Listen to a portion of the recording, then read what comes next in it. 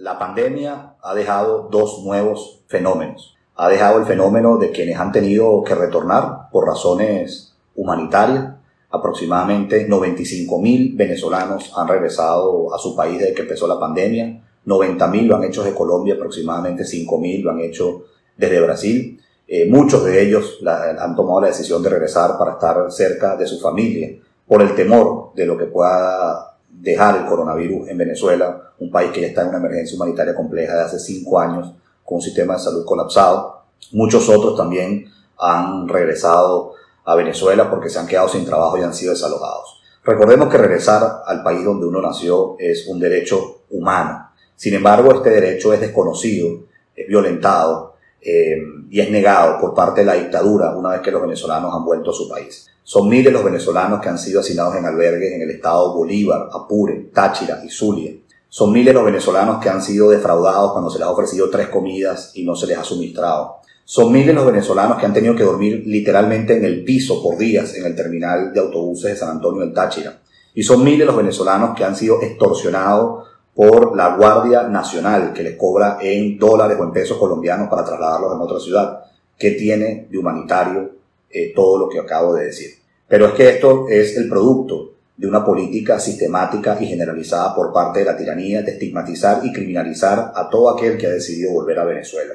Nicolás Maduro ha dicho que los que vuelven son bioterroristas. El, eh, el CEO FAN, de quien es responsable eh, Remigio Ceballos, también ha dicho que los venezolanos son bioterroristas, pero además de eso ha llamado a que se denuncie a los venezolanos que vuelvan por las trochas, que vuelvan por los caminos irregulares, que digan cuándo volvieron, cómo volvieron, dónde viven y pidiendo lujo de detalles. Fray Bernal ha dicho que las casas de quienes vuelven deben ser marcadas para que todo el mundo sepa que ahí vive un venezolano que decidió volver a su país. Em, y eh, el, secretario de la Gobernación del Estado Zulia ha dicho que los venezolanos que vuelven son un arma biológica y deben pasar la cuarentena en una celda. Esto es algo que no se ha escuchado en ninguna otra parte del mundo. Para el día de hoy, al momento que estamos haciendo Sin Fronteras, hay 14.982.950 personas contagiadas de coronavirus. Prácticamente 15 millones de personas en el planeta han sido contagiadas por el coronavirus. Han fallecido 617.400. Y en ningún país se ha visto lo que se ha visto en Venezuela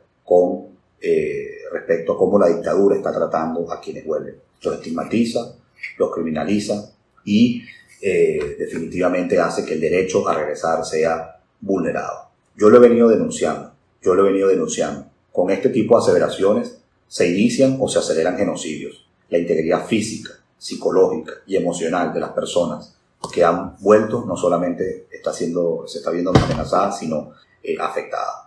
Ahora, esto no solamente eh, eh, está afectando a quienes han retornado, sino también me quiero referir a los varados. Yo decía al principio que hay dos fenómenos por el coronavirus. Uno son los retornados y otros son los varados. Estas personas que no han podido regresar, nosotros hemos estimado, según agrupaciones, de la sociedad civil y las propias personas que no han podido regresar a Venezuela, se estima que al menos hay mil en los Estados Unidos, 600 en Chile, 500 entre Costa Rica y Panamá, 50 en México y en España hasta hace muy poco había al menos 700 personas que no habían podido regresar. Recientemente 300 eh, personas eh, eh, regresaron en un vuelo que salió de Madrid. Cuando ustedes calculan solo los que acabo de mencionar, evidentemente hay venezolanos varados en otros países, por ejemplo Argentina, que estamos estimando cuánto es la cifra.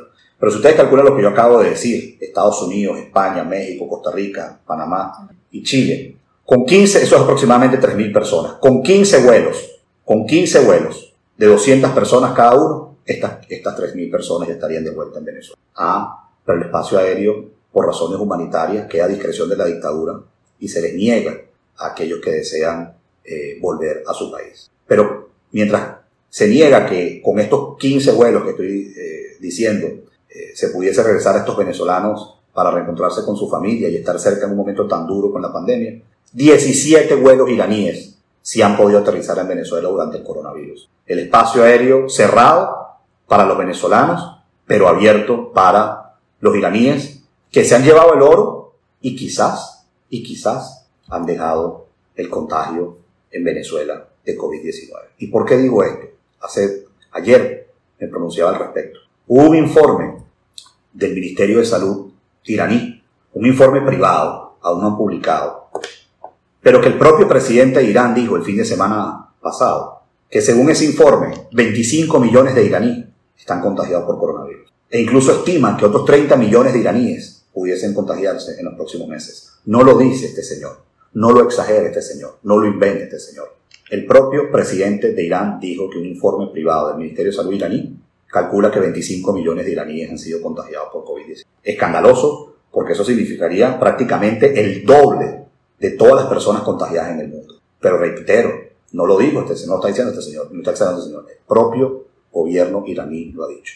Cuando uno ve que 17 vuelos iraníes se han, han, llegado a Venezuela durante la pandemia y eso súmele los cinco tanqueros de gasolina, bueno, pareciera que el contagio viene de otras latitudes. Entonces no estén nombrando bioterroristas a los venezolanos que vuelven, ni armas biológicas, ni los sigan estigmatizando y criminalizando. Y nosotros esto lo vamos a seguir elevando a la Secretaría General de la OEA, lo vamos a seguir compartiendo con las misiones permanentes y observadoras de la OEA, lo vamos a seguir este, discutiendo con la sociedad civil, con las distintas multilaterales, porque el mundo tiene que saber cómo se está profundizando la represión, el control social y los tratos crueles y degradantes en Venezuela producto de la pandemia. Maduro ha utilizado el coronavirus para perseguir, para amenazar, para criminalizar y para estigmatizar mucho más cualquier venezolano. Un país que ya estaba desahuciado antes del coronavirus, con más de 9 millones de personas en hambruna, más de 5 millones de personas que se han ido de su país. Una emergencia humanitaria compleja ha generado esto, con los colapsos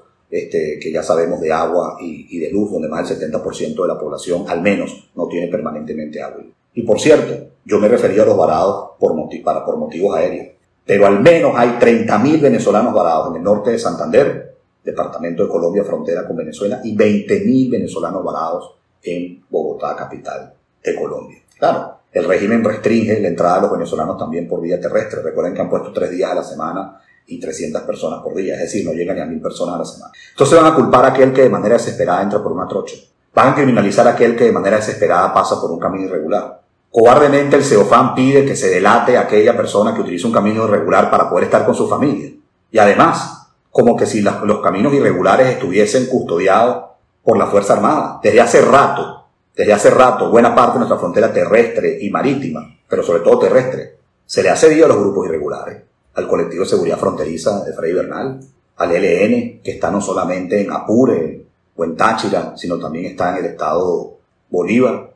Y ahí decía algo muy peligroso, la nueva SODI, que creó la Fuerza Armada Nacional, de que supuestamente más de 1.100 venezolanos que intentaron ingresar por caminos irregulares han sido detenidos. Es algo de verdad dantesco, atroz. Maduro no tiene ninguna intención de abrir las fronteras, no tiene ninguna intención de que el coronavirus se vaya del país. Todo lo contrario, insisto, utiliza la pandemia para profundizar el control social, para ampliar la represión y tiene hoy a Venezuela aislada a niveles de Corea del Norte, a niveles de Corea del Norte, y se está, y se está aprovechando de la pandemia. Entonces, este servidor ha venido trabajando casi dos años en esta oficina de la Secretaría General de la OEA para la crisis migrantes y refugiados venezolanos, donde nuestra labor principal ha sido visibilizar las razones por las cuales los venezolanos se han ido de su país sin haber padecido una guerra convencional en catástrofe natural, pero, impulsar, pero también impulsar políticas que integren, que atiendan, que protejan a los venezolanos desterrados.